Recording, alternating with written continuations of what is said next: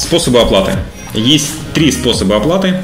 Это стопроцентная оплата, это а, оплата по этапам строительства и ипотека. Стопроцентная оплата. Здесь все понятно.